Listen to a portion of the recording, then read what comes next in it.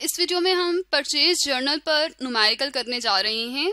Purchase journal हम इसलिए बनाते हैं ताकि उसमें हम बिज़नेस की तमाम क्रेडिट परचेजेस क्रेडिट परचेजेस का मतलब ये है कि ऐसी चीज़ें जो हमने ख़रीदी हैं, जिनके लिए अभी हमने अमाउंट पे नहीं की, उनको हम परचेज जर्नल में लिखते हैं। तो ये हमारे पास परचेज जर्नल का फॉर्मेट है। पहले हम इसको देख लेते हैं। परचेज जर्नल में सबसे पहले हम डेट लिखते हैं, यानी तारीख। जिस तारीख को हमने कोई चीज़ खरीदी है डिस्क्रिप्शन में हम ये लिखते हैं कि जो चीज़ हमने खरीदी है, वो किससे खरीदी है, कितनी क्वांटिटी है और कितनी अमाउंट पर, यानी एक चीज़ हमें कितने की मिली है। अब जब भी हम कोई चीज़ खरीदते हैं, हमें एक रसीद मिलती है, जिसको हम इनवॉइस कहते हैं। उस इनवॉइस के ऊपर नंबर लिखा हुआ होता है। वो नंबर हम यहाँ लिख देंगे ताकि हमें याद रहे कि जो हमने यहाँ पर रिकॉर्डिंग की है, किस रसीद नंबर के अगेंस्ट की है। अब जब जर्नल बनाया जाता है, उसके बाद लेजर बनते हैं। तो लेजर जिस नंबर पर बनाया जाएगा अकाउंटिंग की बुक्स में, वो नंबर का रेफरेंस लेजर जहाँ बनाया जा रहा है, उस नंबर का रेफरेंस हम लेजर फोलियो में लिख देंगे। उसके बाद जितने की हमने चीज़ खरीदी है फाइनल अमाउंट को हम अमाउंट के कॉलम में लिखेंगे। अब अमाउंट को जिस तरह से कैलकुलेट करना है, उसकी डिटेल्स को हम डिटेल्स के कॉलम में लिखेंगे। यहाँ पर हमारे पास कुछ क्रेडिट परचेजेस गिवन है। हम देखते हैं कि किस तरह से उसे हमने परचेज जर्नल में लिखना है। 2018 से रिलेटेड ये हमारी परचेजेस हैं। 10 नवंबर को हमने बॉट की हैं from Salim plastic company limited 12 dozen of plastic tubes यानी हमने 12 दर्जन plastic tubes Salim plastic company limited से बाय किए हैं। At rupees forty per dozen अब एक दर्जन की जो कीमत है वो है चालीस रुपए। तो सबसे पहले हम क्या करेंगे? हम तारीख देखेंगे दस नवंबर। तो दस नवंबर को हम लोग यहाँ पर लिख लेंगे। हमने यहाँ 2018 लिख लिया, फिर 10 नवंबर लिखा। अब हमने ये परचेजेस किससे की हैं? स्लीम प्लास्टिक कंपनी लिमिटेड से। तो हम यहाँ क्या करेंगे?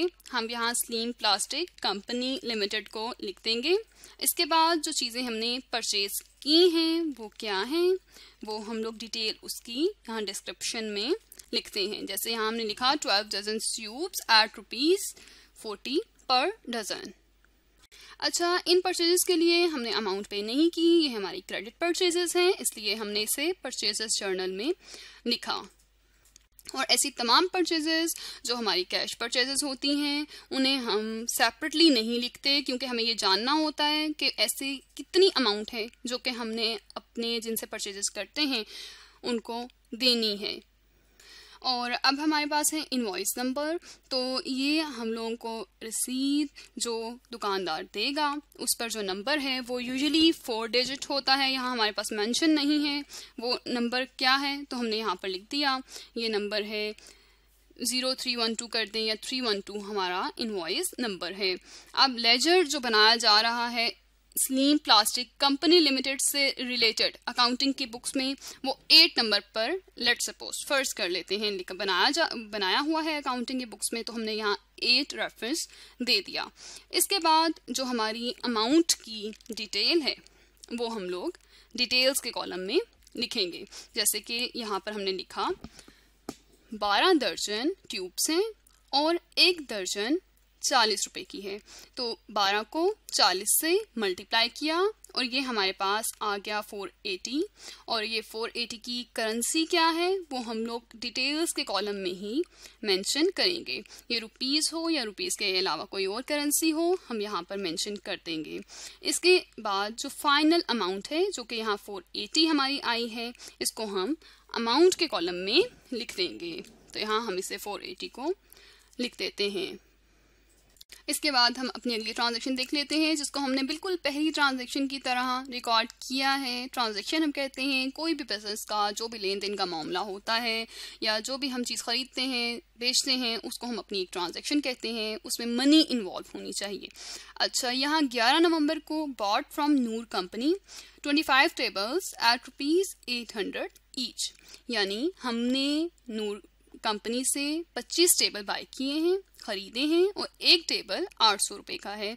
तो 11 नवंबर को ये किया। हमने यहाँ डेट में 11 नवंबर लिखा। उसके बाद डिस्क्रिप्शन में हमने लिखा नूर कंपनी से बाय किया है और फिर हमने लिखा 25 टेबल हैं और एक टेबल 800 का है। इसके बाद हमने इनवॉइस नंबर यहाँ पर 586 नूर कंपनी से जो हमें इन्वॉइस मिली है, उसके ऊपर 586 नंबर है तो वो हमने यहाँ पर लिख लिया।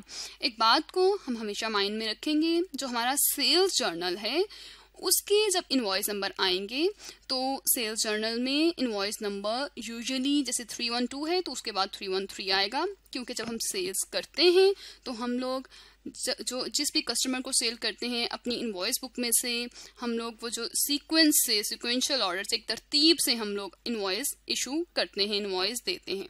लेकिन जब हम किसी से परचेज कर रहे हैं तो वो डिपेंड करता है, जिससे ले रहे हैं, उसकी रसीद या उसकी जो इनवॉइस बुक है, उस पर जो नंबर है, वो देखकर हम लोग यहाँ पर लिखेंगे।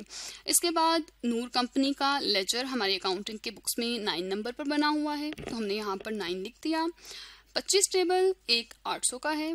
तो पच्चीस मल्टीप्लाई एट हंड्रेड तो ये हमने देखा, यहाँ पर ट्वेंटी थाउज़ेंड आता है। इसको हमने डिटेल्स में अमाउंट की डिटेल लिख दी। फिर हमने फाइनल अमाउंट अमाउंट के कॉलम में ट्वेंटी थाउज़ेंड लिख दी।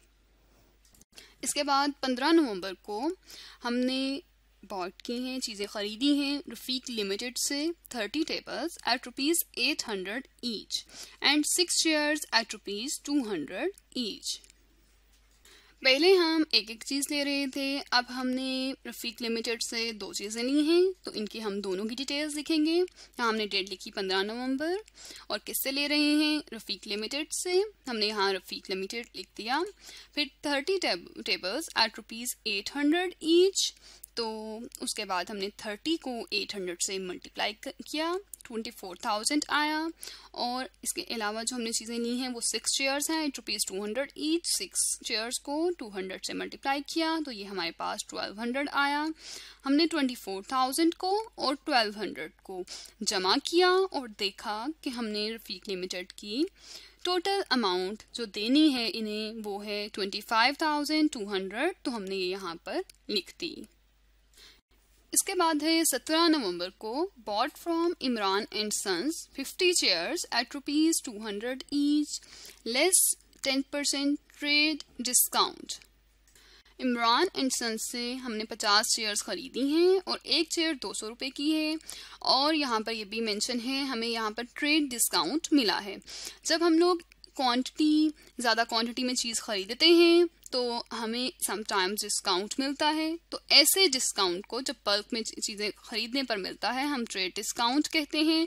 तो डिस्काउंट का मतलब है इतनी हमें टेन परसेंट टोटल जो हमने उन्हें अमाउंट पे करनी है, उसमें से टेन परसेंट हमें छूट मिल गई है। टेन परसेंट हमने असल अमाउंट में से डिडक्ट करके लेस करके फिर पे करना है। तो हम यहाँ पर इस तरह से लिखेंगे fifty chairs at rupees two hundred each तो 50 चेयर्स 200 की चेयर हमारी एक है तो ये 50 को 200 से मल्टीप्लाई किया।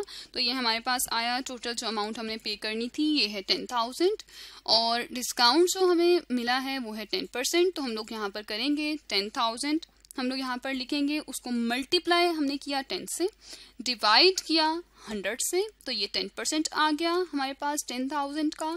और ये है वन थाउज़ेंड रुपीज़ तो अब हम क्या करेंगे?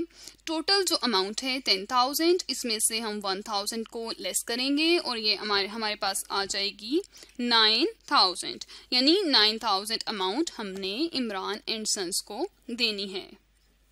और साथ साथ हम लेजर नंबर लिखते गए जर्नल के बाद लेजर बनते हैं और लेजर हमारा इमरान एंड सन्स का ग्यारहवें नंबर पे बना हुआ है। हमारी अकाउंटिंग के बुक्स में हमने यहाँ एलेवन लिख दिया। रसीद नंबर जैसे हमने देखा, बाकी तमाम रसीद जिस जिस पर हम परचेज करेंगे, वहाँ से देखकर हम यहाँ लिखते जाएँगे। तो इस तरह से हमारा ये परचेज जर्नल बना और अब हम लोग ये करेंगे नवंबर की, अगर हमारी और कोई परचेज नहीं हुई तो हम यहाँ देखेंगे, हम यहाँ लिखेंगे कि थर्टियथ नवंबर को थर्टियथ नवंबर को हमारा जो परचेज अकाउंट है, वो हमें बता रहा है कि कितनी अमाउंट हमने, कितनी परचेजेस हमने नवंबर में क्रेडिट पर की हैं और टोटल हमने कितनी अमाउंट क्रेडिटर्स को देनी है जिससे हम क्रेडिट परचेज करते हैं उसको हम अपने क्रेडिटर कहते हैं। तो यहाँ पर हम लोग लिख लेते हैं इन तमाम अमाउंट्स का अगर हम लोग टोटल देखें तो ये है fifty four thousand six eighty तो fifty four thousand six eighty amount हमने हम, हम, हमारी हमने फ्यूचर में क्रेडिटर्स को देनी है। तो इस तरह से हमने देखा कि क्रेडिट परचेजेस को जहाँ रिकॉर्ड किया जाता है, उसे परचेज जर्नल कहते हैं और किस तरह से ट्रांजैक्शंस को परचेज जर्नल में रिकॉर्ड करते हैं, ये हमने इस वीडियो में सीखा।